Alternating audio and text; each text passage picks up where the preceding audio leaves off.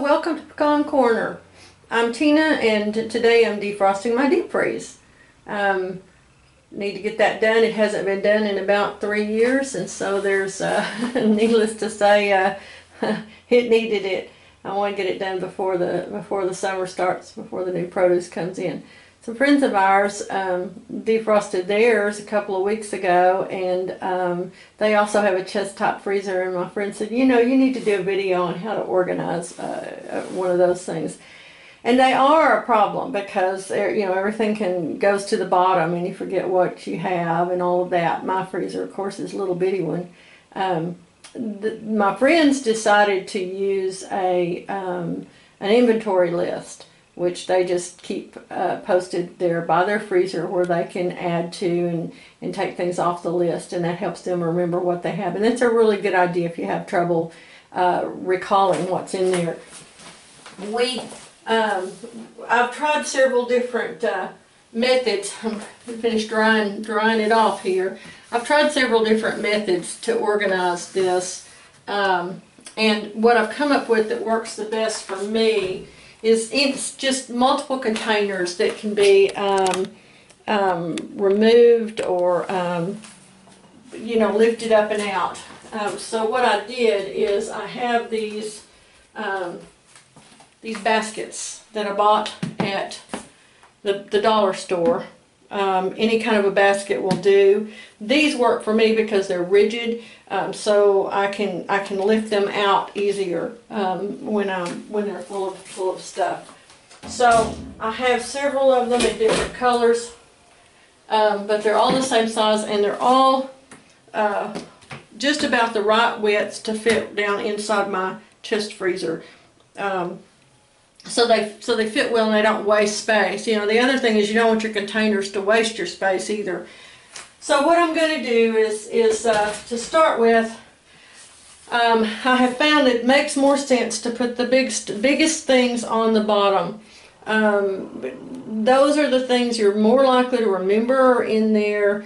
If you do want them, it's going to be a special occasion, so it's going to be worth the effort of taking everything else out uh, to try to find them. If you have your ground beef on the bottom, you know you're going to be uh, annoyed every time you have to go into the freezer. So, uh, so that's that's kind of my my little plan.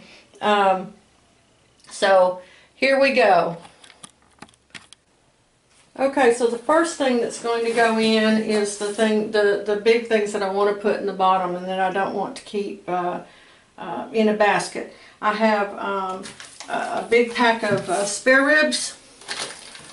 Going just right down there.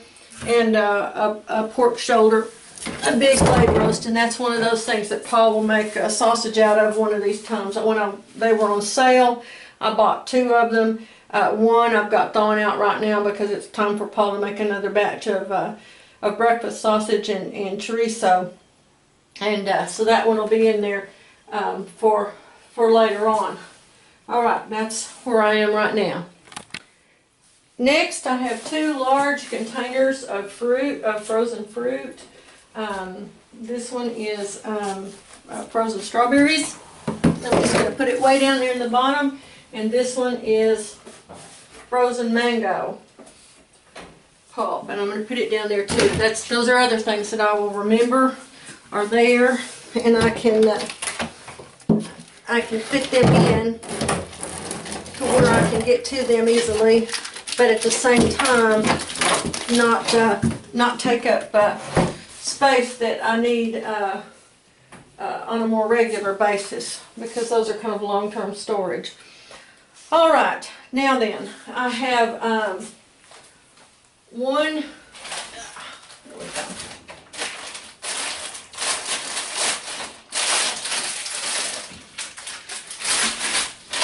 All right, this is um, a package, uh, this is my, my uh, basket with uh, uh venison and uh, beef in it.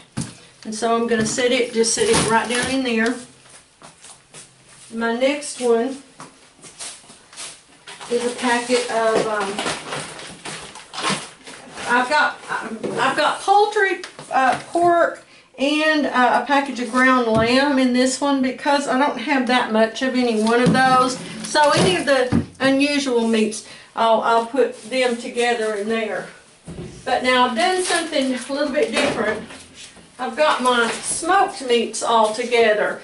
Um, I kind of cook differently with those and I treat them, whoops, treat them differently. So um, I've got, you know, everything from bacon uh, to um, sausages and um, salt pork.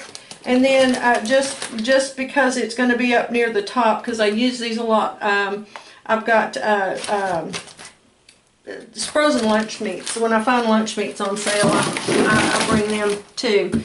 Okay, so there's those. Now next, let me just stack these in here. And so see what I can do, let's get around here where I can see this. As you can see, it's it's really easy when I want to look for something, I want to get something else out, I can just lift these baskets out. You have to remember when you're putting foods away to, to lift the baskets out and put them in the in you know the right order. But it just it works.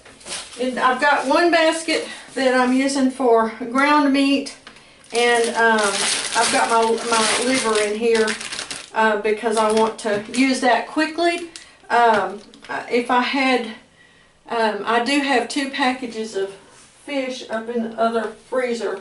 Um, and I will, uh, I'll bring them back here and I'll put them in this basket too because these, this is a basket of stuff that I'm going to use more quickly. Um, so liver or fish, things that I don't want to store for very long, um, I'll, I'll, put those in, into that basket.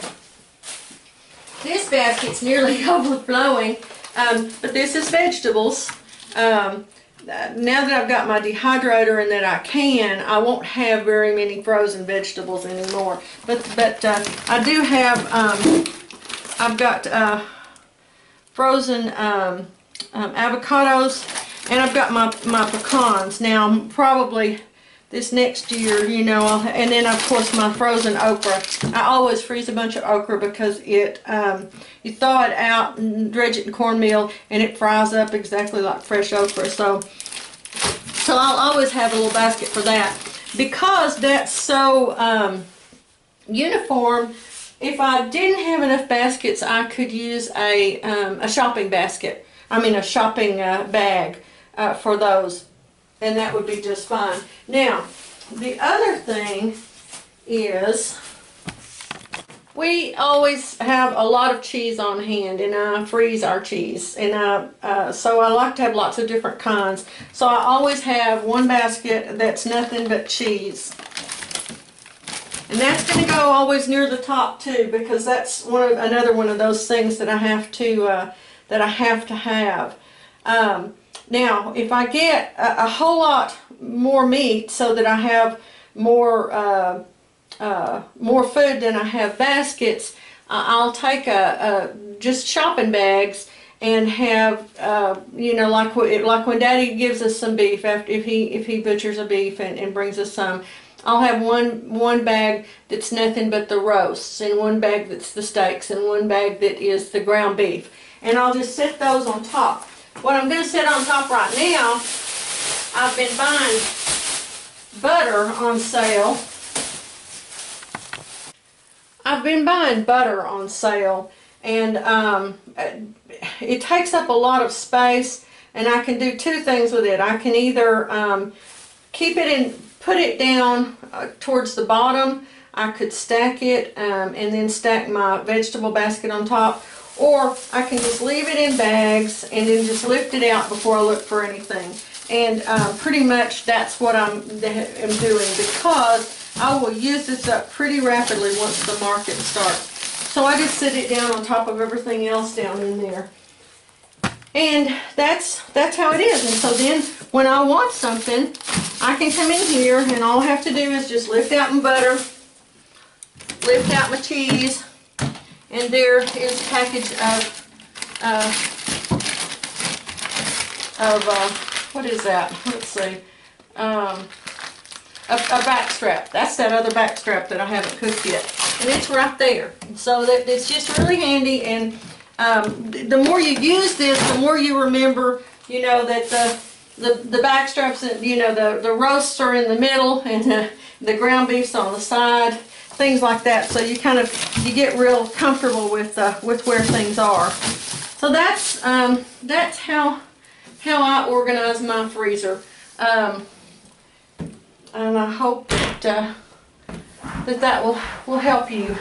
Um, I was pretty happy. I didn't find a whole lot in there that I didn't know I had. Uh, a couple of things, but but not too much. And uh, yeah, I'm good to go uh, for another couple of years before I before I re uh, uh, redo it. All right. Thanks so much. If you like it, I hope you'll give us a thumbs up and please subscribe.